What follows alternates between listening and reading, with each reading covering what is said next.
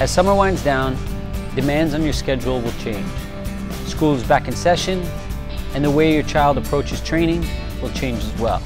The focus quickly goes from individual training and personal goals to team strategy and tactics. But as the pressure of team training builds up, it's important that your player doesn't let their self-improvement suffer. Coaches have many challenges when it comes to team training, one of which is limited time with each player. And because of this, it's up to the individual to invest the time to practice and hone their individual development. Throughout my career, I was continuously looking for ways to fit in individual training so that I could continue to develop and be prepared.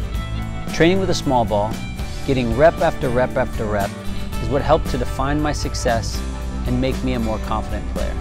I could continue to work on whatever skill was needed in my game, and particularly ones that I knew couldn't be accomplished in team training. Your son or daughter is likely experiencing some of the challenges that come with team training. Trying to earn a spot on the team, making sure you fit into the system, learning to play with some new teammates, and so on. By training with TOCA throughout the season, your child will always be game ready and will continue to develop their individual skills and confidence. TOCA can help you navigate this by finding training days that work for you and your family's schedule. Contact your local TOCA Training Center and let us help you find your best.